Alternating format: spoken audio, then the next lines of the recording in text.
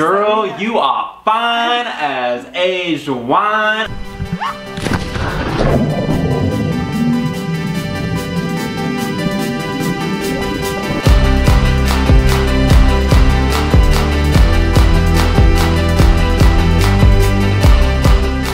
What's up guys? Welcome back to another vlog. Today Chelsea and I are actually in Mexico. We're down in Cozumel. I'm sure some of you guys have been before. Oh no, we're in Cancun.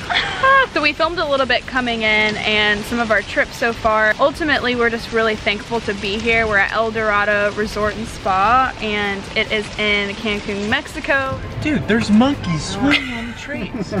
guys, we've been here all of 15 minutes Five and I'm already asking this guy if I can like buy a This is the quiet and hut. Yeah, if we could move here. Like, this is insane. Look at this big, do you see that big hut right there? And another. Y'all, if Nice you were getting people. married soon, you gotta come here on your honeymoon. Like, El Dorado.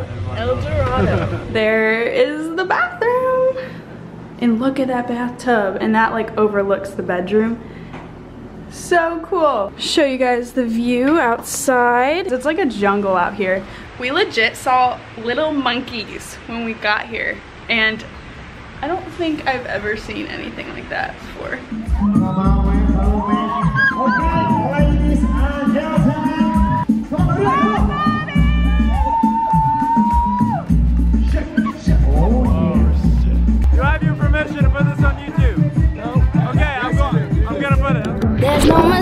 Mistaking, you're the only one I want. The only one I want. Ready? Come light a fire, burn like the rising sun. I never thought I'd. We're not in Mexico anymore. I mean, surprise, surprise. This is our, our couch in our apartment. But You know where this is. our trip was amazing to Mexico and we had so much fun, as you guys can tell with all the clips. But we did want to make an effort to talk about something that a lot of you guys have brought up in several videos, and that was how was our first time being together intimately? We both waited till marriage, and we think it's also helpful to those who are choosing to wait for their spouse one day. I don't really know how it's gonna go, but we tried to film this in Mexico. We might insert a short little clip, but like our camera was foggy and it was like 5,812% humidity outside. Seriously. Got married, it was awesome, and then we actually stayed on site the night before, and then we stayed on site the night after our wedding too. So our first night being together, we were in this like tree house, but it kind of felt like a loft whenever you went upstairs to Mhm. where the bed was. And it was so, so cool because it started raining like right when we got into the tree house. So it was just like you can hear the rain on top roof, of the yeah. the tree house and then I slept amazing and it was just nice to just finally rest after such Yeah. a crazy day. To actually get into what you guys want to hear about, because Mm-hmm. I thought that's what Chelsea was about to do there, but she's still setting the stage for like, this is what it sounded like and looked Well, like. this, this is what it is as a woman. It's like you want to know that you're comfortable in all ways, really. In this treehouse, uh, after oh, so our wedding, sure. Okay. About at 3.30, 3.30, wow, 11.30, I think a lot of our wedding stuff had gotten wrapped up, like the wedding reception and everybody Mhm. dancing. A lot of our friends went out and danced after the Yeah. wedding, which was really fun. But we went back to the treehouse, we were so tired, but then we ended up, Nick actually got down uh, near the bed and we both prayed together, like right before we were about to have sex. Did I just Boom. get demonetized?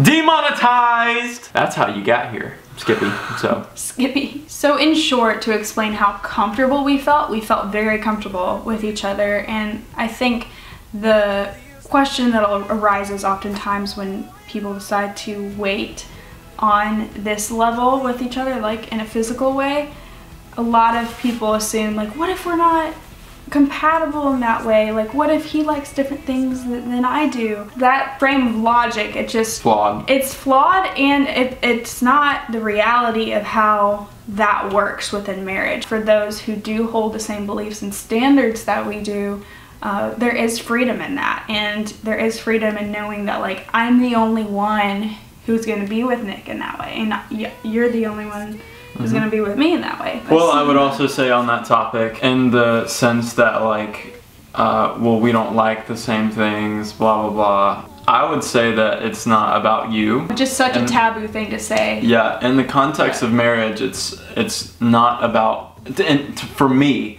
at least, it's not about what I want. It's about her needs and what she wants. and vice Um, versa. Like yeah. I'm, I'm, and when we're, we have that mindset, And, yeah, and the thing is, is when you have that mindset, there's not going to be such a thing as like we don't work together, like, uh, like it's just yeah, That's that. Ne- I've never heard of that happening. I would say I felt pretty comfortable too. I was really nervous when a lot of my friends and even our marriage mentors told us like it's gonna be weird, it's gonna be awkward, just like fight through it. And I don't think it was that way at all. I don't think it was weird. I don't think it was awkward. I was pretty comfortable. I think Chelsea was comfortable as well. It was just a really, really cool, special moment um, for us to connect in a way that we've never connected before on a different level than we've ever connected before. Yeah, I mean, overall, like, how much can you say without getting demonetized? If you're married, sex is five stars. I give it all five stars. I agree. We both were very comfortable, but I would say weeks before and days before, I was very nervous because I was just, but what if he isn't gonna find my body attractive, or what if he's gonna think that this thing that I see is flawed is actually like a bigger deal than I've even made it to be, or I found that a lot of things that I had like come up with in my head and that I was insecure about Nick, he didn't even see those things the way that I was. Because, you know, oftentimes when we are insecure about something, we're seeing through the lens of that insecurity. And it's mm-hmm. hard to let anyone in because simply we have like our walls up in that way. And this could be said on any level with like friendships and all of that. But in a level of being intimate together and knowing that there are certain parts of my body that I was just insecure about. Just to have someone that you know is committed to you and didn't even see those flaws and was like, what are you even talking about? Like, no, I don't care about that sort of thing. And it was just really powerful to me to know that there are guys out there, and specifically Nick, that I have as an example, to just see that they don't they don't look to those things like a lot of women often do. It wasn't like I was ignoring something that was like blatantly wrong with Chelsea's body. It was like I didn't even know what she was talking about. Like I, I Yeah. I didn't see, and I still don't. I still don't even know what you were like even insecure about. Um, It's just those Cause things girl, you are fine as aged wine. Oh my Lord Jesus. So just on that topic, if I'm you're so a woman who is like insecure about parts of your body, just take comfort in knowing that there are guys out there who like it's just not like they I don't even know how to describe it. Your perspective and their perspective are going to be completely different. Yeah.